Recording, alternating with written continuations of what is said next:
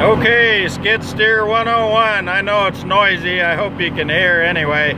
One of the things you got to do when you work with cattle is you got to be able to take a joke. I bored these holes yesterday. There's one here and there's one off to the right of the screen. Um, and then I had a breakdown, I had to go to town for parts. Got back this morning and the cattle had partially filled the holes in. Now I could dig them out with the hand post hole digger, which is that funny thing over there.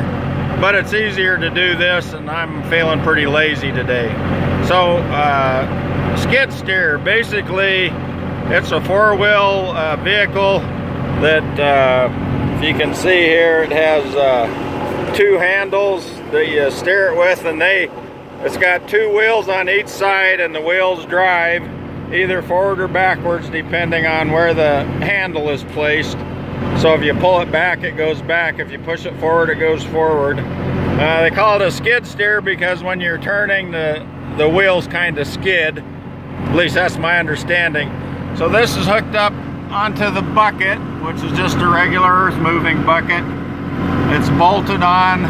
It's an auger. It's hydraulic, hooked up to the hydraulic system. And right here, I have a switch that will go forward and back uh, clockwise and counterclockwise with the auger. And so I'll just kind of demonstrate that here. I have to turn on the uh, hydraulic system.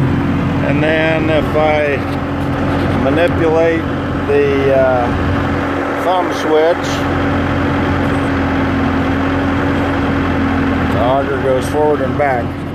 So now what I'm going to do is uh, bore out this hole.